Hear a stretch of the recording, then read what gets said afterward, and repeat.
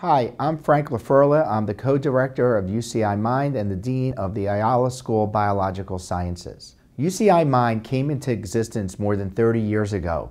We are home to only one of 31 prestigious NIH-designated Alzheimer's disease research centers in the country and one of 10 such centers in California.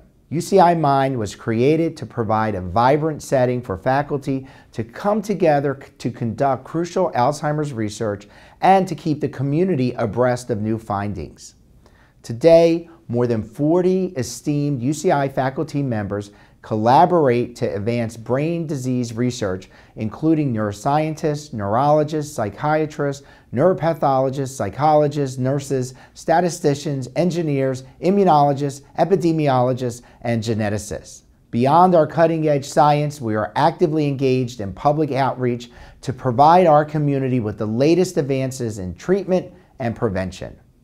We reach thousands each year through exciting programs such as our quarterly Ask the Doc series and our annual Alzheimer's Disease Research Conference. We used to be told that UCI Mind was one of the best kept secrets in Orange County. Today, UCI Mind and the leading edge research being conducted here has gained national and international recognition.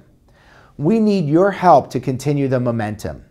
We have a great deal of anteater pride in UCI Mind and ask your support for research to make memories last a lifetime. Anteaters Against Alzheimer's. Join the movement.